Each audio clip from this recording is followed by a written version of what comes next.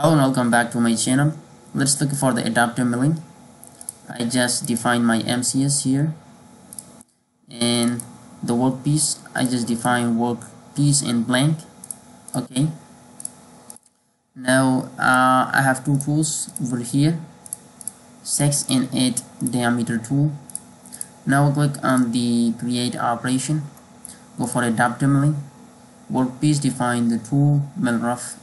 Okay now select the region that you don't want to be machined. I'm selecting this middle pocket. Okay. Select inside and hit ok. The rest of the things are probably well.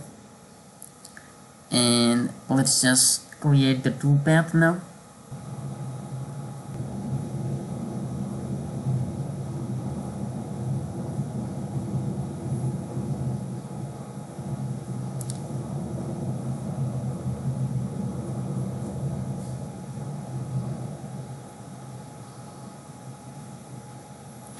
okay. So it's just created a tool path for me. And let me just verify it.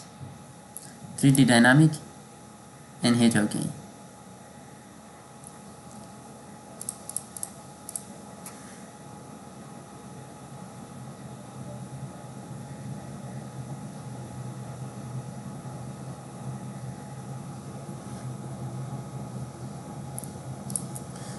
I will stop it okay? And after this I'll go for another operation and that is mill planar floor wall. And let me just change the tool. Mill finish or mill rough okay. And specify the cut area I'll select this area. And follow the path and generate it.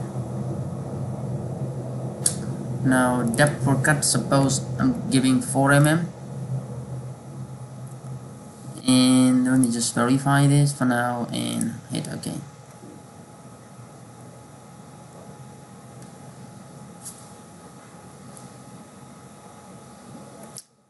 So that's fine for me. So this was it optimally. Thanks for watching.